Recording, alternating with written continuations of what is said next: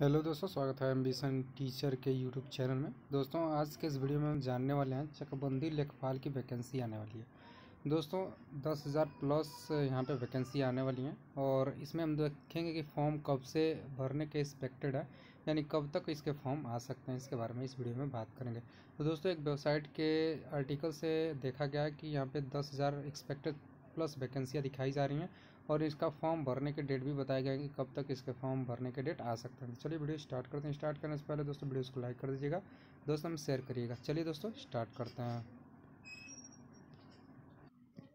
जैसा कि दोस्तों आप देख सकते हैं, भर्ती का नाम है चकबंदी लेखपाल भर्ती 2022 और यहाँ पे आप देख सकते हैं कुल पदों की संख्या दोस्तों दस हज़ार से एक्सपेक्टेड दिखा रहा है, यानी दस हज़ार आ सकती हैं वैकेंसी से कम भी हो सकती हैं, ज़्यादा भी हो सकती हैं। और ये पद नाम जो होगा, चकबंदी लेखपाल का होगा।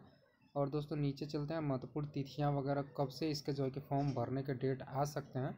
और ये भी एक्सपेक्टेड है, कहा नहीं जा सकता, लेकिन दोस्तों, इसके डेट आने के चांसेस हो सकते हैं, क्योंकि अभी जस्ट तो लेखपाल की वैकेंसियाँ होने वाली हैं तो हो सके चकबंदी लेखपाल की वैकेंसियाँ भी आ सकती हैं। तो यहाँ पे देख सकते हैं, एक मई, यानी मई से इसका फॉर्म आने के चांसेस हैं।